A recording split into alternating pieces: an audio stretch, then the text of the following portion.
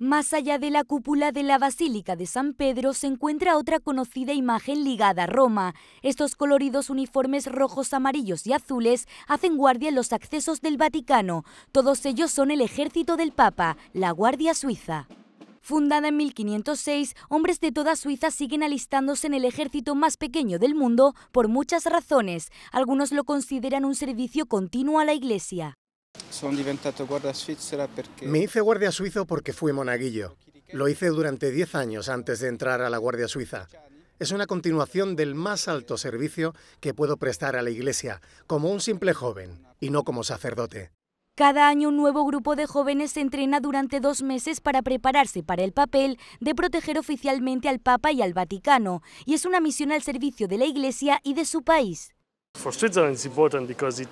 Para Suiza es importante porque es una imagen que tenemos en todo el mundo.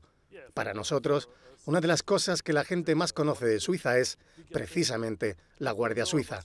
Así que eso es importante. Y también por el lado sagrado. Creo que es esencial que todo el mundo pueda ver que los jóvenes están en la iglesia. En Suiza, donde cerca del 30% de la población es católica, la Guardia Suiza es un ejemplo de la presencia continua de jóvenes que viven su fe. La Guardia Todos tenemos entre 20 y 23 años. Algunos tienen 29, pero la mayoría tiene 20 años. Y entregamos dos años de nuestra vida por la Iglesia y por el Papa. Creo que es un bonito ejemplo de jóvenes sirviendo, que pueden dar su tiempo, dos años de su juventud, para algo más grande.